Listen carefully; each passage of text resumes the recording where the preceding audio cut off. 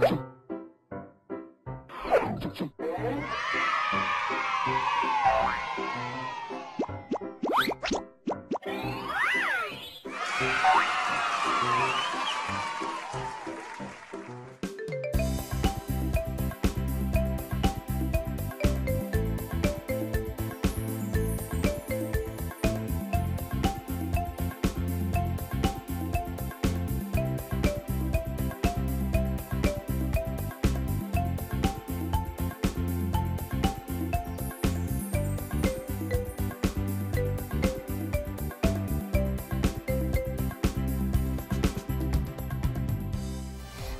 teman-teman semua, yuk kita belajar hari ini dengan menggerakkan tubuh kita.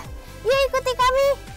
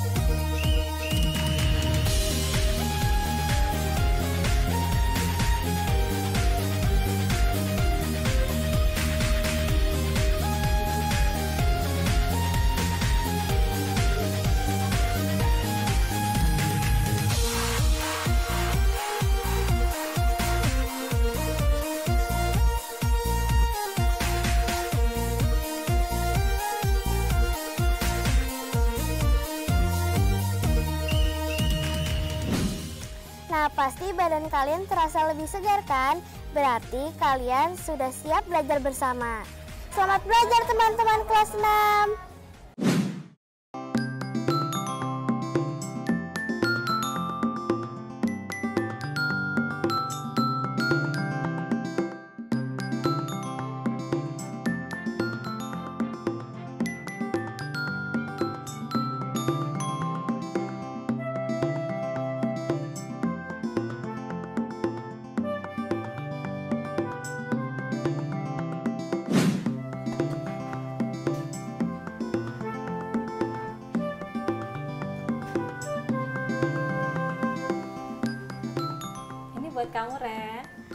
Kasih, Bun. Selamat pagi, teman-teman. Semoga kalian dalam keadaan sehat dan semangat ya. Sekarang aku mau mesaiban, teman-teman. Ini adalah persembahan berupa makanan yang dilakukan setelah selesai memasak sebagai wujud syukur atas apa yang diberikan Yang Widi kepada keluargaku. Nah, sehabis ini aku mau belajar banyak hal seru dari Bunda. Di antaranya, mengenali macam-macam peta dan kegunaannya. Juga berkreasi membuat peta Indonesia. Dan membaca cerita, lalu mencari latar ceritanya di peta. Oh ya, terakhir kita bakal belajar menghitung luas melalui eksplorasi tumpahan minyak. Seru kan?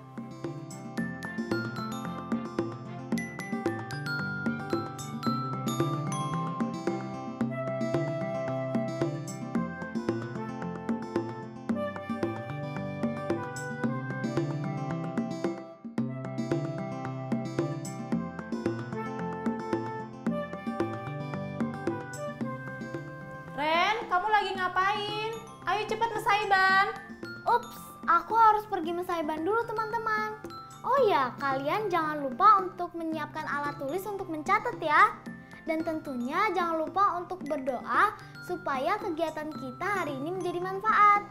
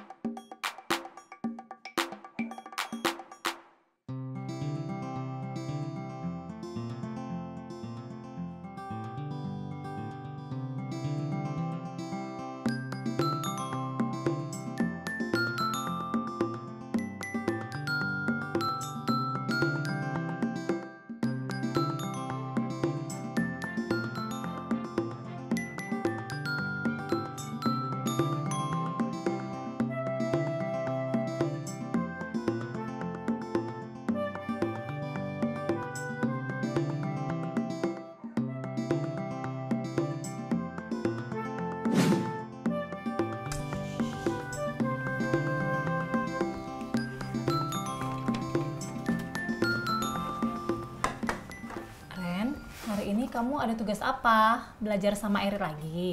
Enggak kok bun, hari ini Rena belajar di rumah aja. Hari ini Rena mau membuat prakarya peta Indonesia. Wah, seru dong. Kamu mau buat peta apa? Maksud bunda? Kamu tahu kan kalau peta itu ada bermacam-macam dan kegunaannya pun berbeda-beda. Oh begitu. Memangnya apa aja bun? Peta berdasarkan isi yang disajikannya digolongkan menjadi dua, yaitu peta umum dan peta tematik. Kalau peta umum, kira-kira Rena tahu nggak petanya seperti apa? Hmm, peta umum itu adalah peta yang menggambarkan semua keadaan di bumi. Benar gak bun? Betul sekali.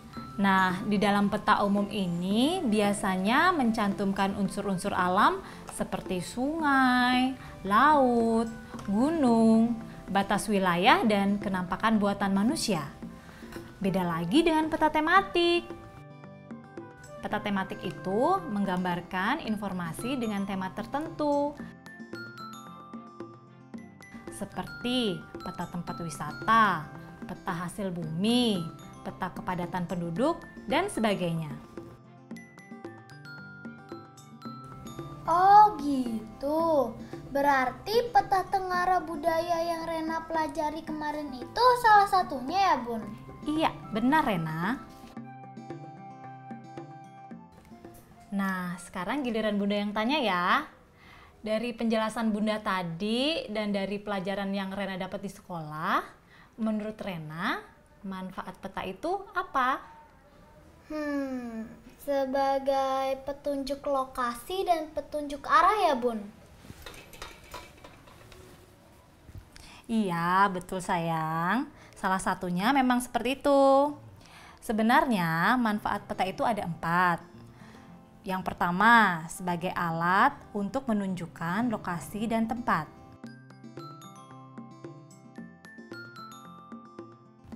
Yang kedua, sebagai alat untuk menunjukkan arah atau jarak.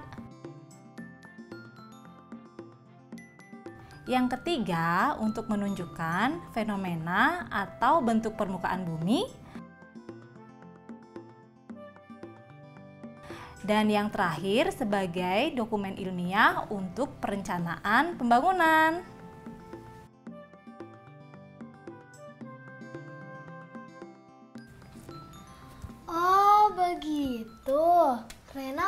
Paham bun. Rena juga baru tahu kalau macam-macam peta dan manfaatnya begitu banyak. Nah, sekarang Rena sudah tahu mau buat peta seperti apa? Sudah kok, Rena mau membuat peta umum yang bisa dibongkar pasang.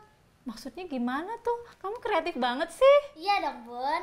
Nanti Bunda boleh lihat ya. Sekalian Bunda rekam, terus Bunda tunjukin deh ke Ayah. Beneran? Ayo ayo. Udah nyala bun? Sudah, kamu sudah bisa mulai kok.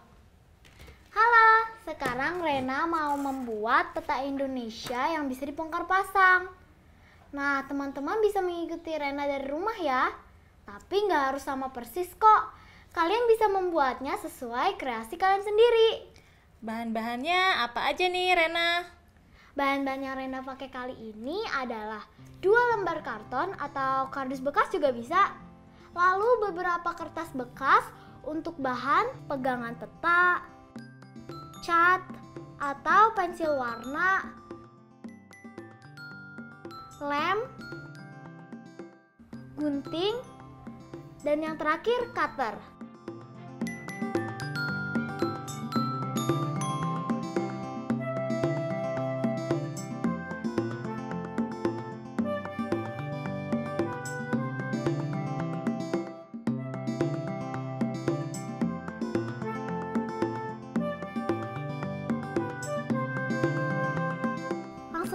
Aja yuk. Pertama, gambar dulu pola peta Indonesia di salah satu karton.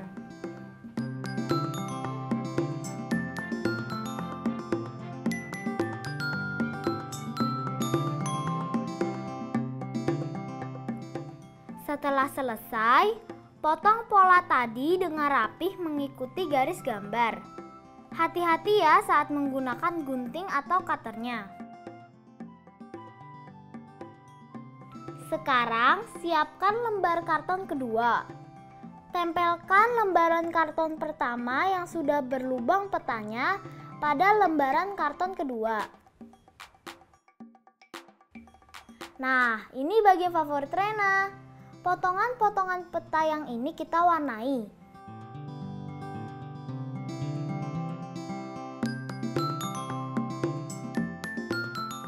Kalau sudah selesai, remas selembar kertas bekas dan tempelkan di atas potongan peta sebagai pegangannya. Lalu jadi deh, ini dia peta yang bisa dibongkar pasang. Keren kan? Oh iya, supaya makin lengkap, jangan lupa buat legenda atau keterangan petanya sekalian ya.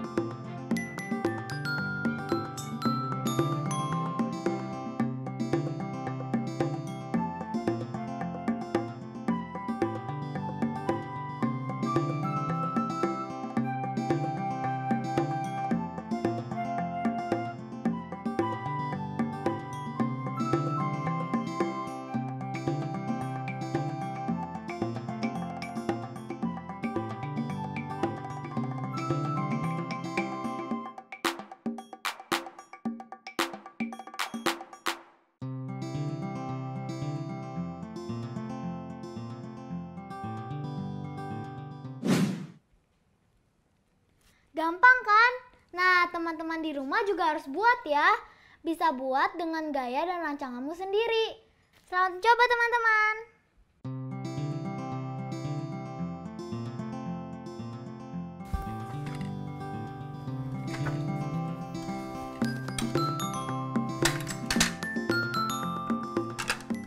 Ya ampun, masih jam segini. Kenapa Ren? Kok mukanya ditekuk gitu sih? Enggak bun, masih siang tapi Rena udah nggak tahu lagi mau ngapain. Sabar ya sayang, demi kesehatan dan keselamatan kita. Sementara ini kita memang harus di rumah saja. Ya sih bun. Eh, gini aja, kita pindah ke ruang tengah yuk. Bunda mau bacain kamu buku cerita yang bagus. Kemarin Bunda download di situs Kemendikbud loh. Ayo yuk.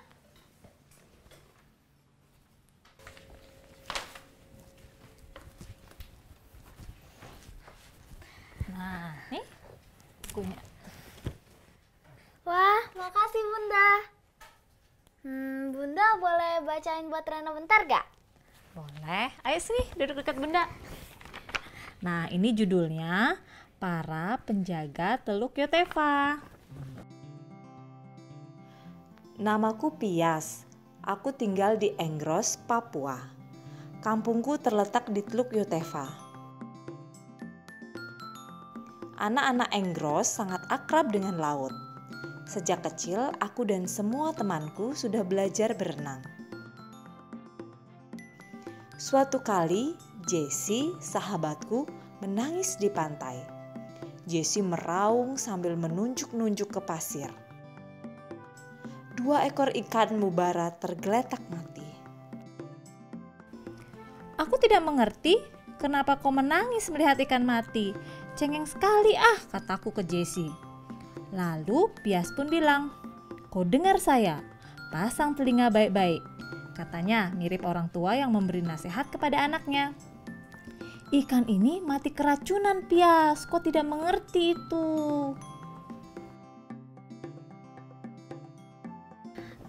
Ikannya kasihan ya, mati karena keracunan. Kenapa bisa keracunan ya, Bun?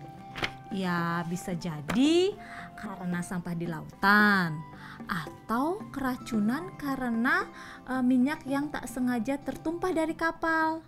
Makanya, kita harus sayang dan menjaga alam sekitar. Tidak hanya hewan ya, tapi juga semua tumbuh-tumbuhan.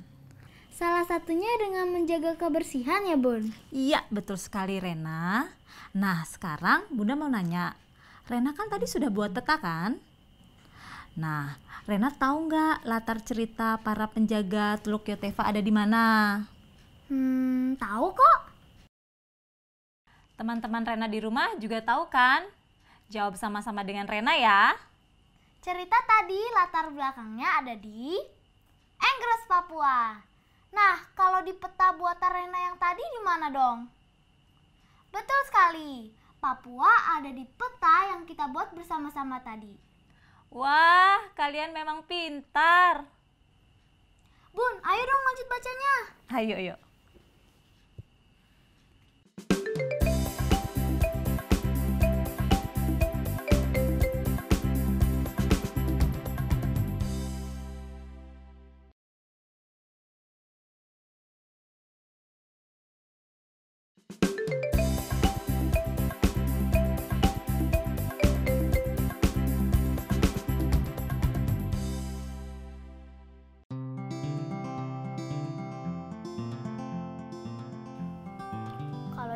Dipikir-pikir, ikan yang mati karena keracunan itu kasihan ya, Bun.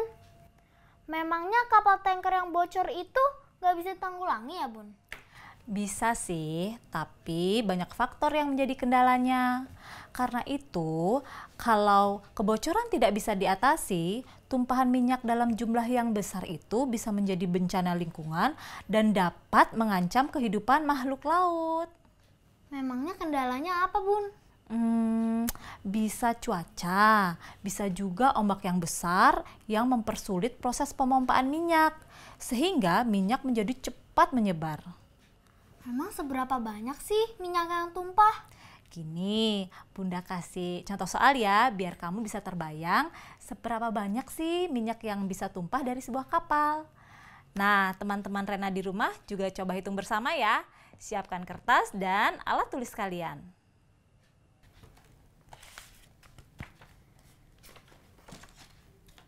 Sudah, Bun. Nah, kita ibaratkan sekarang tangki minyak suatu kapal mengalami kebocoran di laut lepas. Beberapa jam kemudian, minyak menyebar dan menunjukkan bentuk seperti gambar ini. Nah, ada suatu benda yang mengapung di laut dan berada tepat di barat laut. Benda tersebut terkena tumpahan minyak dan berjarak 42 km dari tangki kapal yang bocor. Lalu, berapa luas tumpahan minyak tersebut?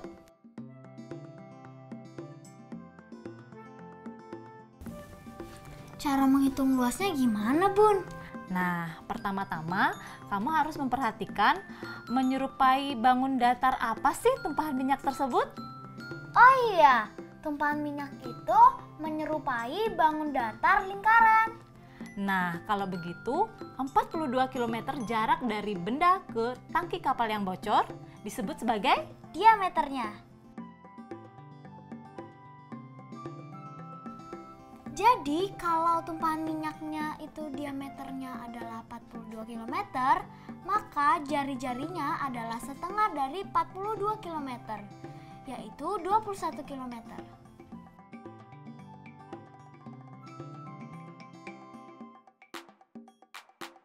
Nah, teman-teman masih ingat kan rumus luas lingkaran? Betul sekali. Luas lingkaran sama dengan pi kali r kuadrat. Nah, tinggal dimasukkan deh ke rumusnya.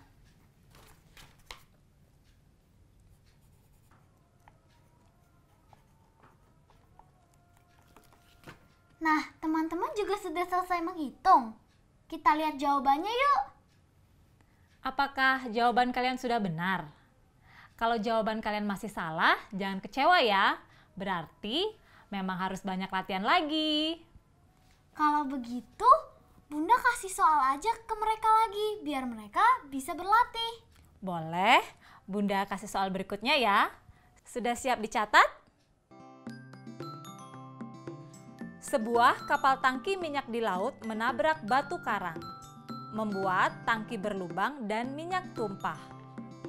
Kapal tersebut berjarak sekitar 21 km dari daratan yang berada tepat di sebelah utara kapal, seperti yang ditunjukkan pada gambar.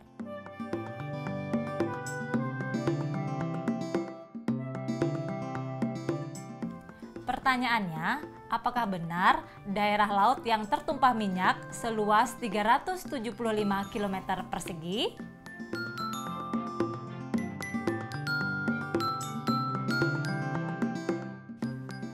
Jangan lupa diselesaikan ya teman-teman. Nah, kalau sudah selesai, kalian minta anggota keluarga kalian untuk mengecek ya. Selamat mengerjakan teman-teman.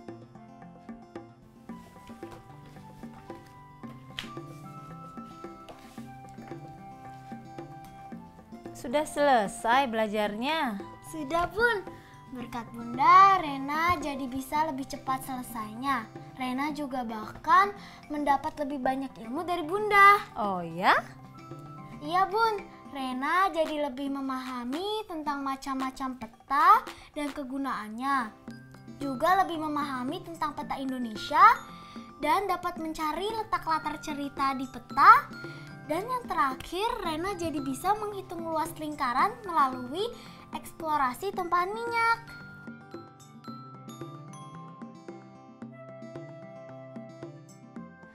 Gak terasa ya, ternyata banyak juga kita belajarnya. Semua berkat Bunda. Kasih ya Bunda. Sama-sama. Eh, kayaknya ada yang belum deh. Apa tuh Bun? Mainnya yang belum. Ya udah kalau gitu kita menjelajah lautan bersama yuk. Ayo kita menjelajah bersama. Kita dayung perahu ini dari Teluk Yoteva ke Teluk Humboldt. Oke. Hah? Awas, ada ombak besar.